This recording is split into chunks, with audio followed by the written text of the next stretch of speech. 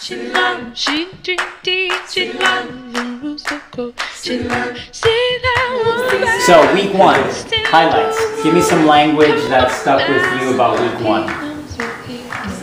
Kinesthetic. Kinesthetic, what? Perspective. So good, so close. Point No. of view. Point. Mm. Kinesthetic response.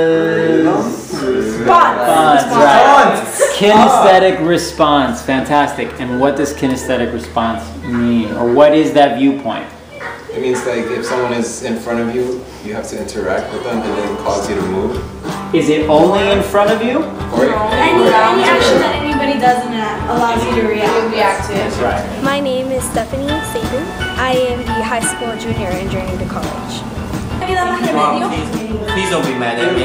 ¿Qué tal, I was going to tell you. In the first week, I definitely enjoyed the warm-ups and how we interacted with one another. Not to mention the reading with different dynamics of how everybody reads, just without acting, just as us. I thought it was challenging to do um, the run in the circle and to change direction and to jump. I think it's really challenging, but I think we're gonna get it like soon. Yeah. I'm looking forward definitely to performing with everybody.